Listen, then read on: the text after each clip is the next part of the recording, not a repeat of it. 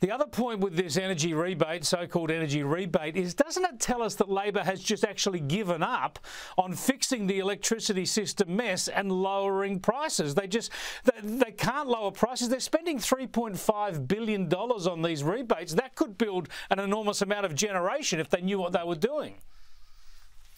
Exactly right. So, of course, everyone remembers they promised a $275 reduction uh, when they came to power. We've seen bill increases of around $1,000 for Australians since Labor has, has come to power. They have no pathway to deliver reductions, so now they're just throwing money around. But you know, we've seen all this before, Chris. This is what uh, governments did back in the 70s and the 80s. It, it failed. Uh, inflation rages when you have these sorts of policies.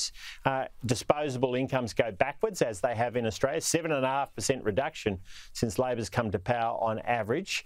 Uh, huge huge uh, reductions in the standard of living for Australians with a mortgage. And there's no end in sight with these policies. This is a bad budget. It's not a budget that will alleviate Australians' standard of living woes. Uh, and it's politically motivated at the end of the day for an election that'll be sometime in the next year. Now, you talked before about some of the other measures, these tax credits that are going to be driven towards green hydrogen and the like, and billionaires like uh, Twiggy Forrest will be lining up for that. And as we mentioned, they've done nothing to actually fix the uh, electricity system themselves with their renewable transition. Does this mean that tomorrow night Peter Dutton will reveal the details of his planned nuclear energy transition? Well, we'll certainly continue to lay out the next next part of our, our policy focus, Chris. I mean, we haven't been small target. Um, we've shown a real contrast to the Labor Party. We showed a real contrast on the voice referendum, of course. We're showing a real contrast as we lay out the most significant change in energy policy that this country has seen in a long while with a shift towards nuclear, and we'll continue to talk about that. But we'll also talk about the cost of living crisis and the housing crisis Australians are facing. Um, we've seen, uh, again, a very sharp increase in immigration numbers. They went up again in this budget to 1.7 million over the coming years. Um, for that time period, it was closer Just, to a million uh, in power. But, uh, let me enter. We'll talk about uh, immigration tonight as well. But uh, on related issues, on border protection, this there's precious little in this budget when it comes to savings. Yet Labor are suggesting in the budget that they'll save $250 million by essentially mothballing the detention processing centre on Nauru. Now, with six boats already arriving, I don't see that they can actually shut down Nauru.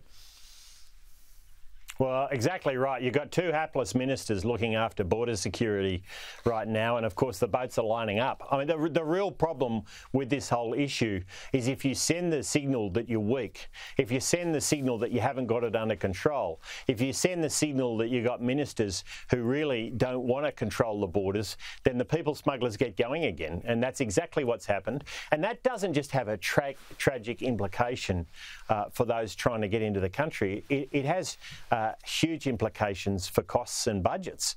Uh, and so the idea that that this is not a real risk now, well, uh, it looks to me to be a very significant risk. And I've got to say, at a time like this, who, who would you want uh, controlling and managing your borders? Those hapless ministers or Peter Dutton, who, uh, as we know, has been able to control the borders in the past? Just finally, one of the astounding things about this budget, from my point of view, is Jim Chalmers banks uh, his second surplus. Great, good on him. Uh, good fortune, but good on him. But then he looks out uh, four years hence, and it's just deficits, deep deficits as far as the eye can see. He seems to have no ambition to return the budget to a structural balance or surplus. Would you undertake to get the budget back to a balanced situation in the first term of a coalition government?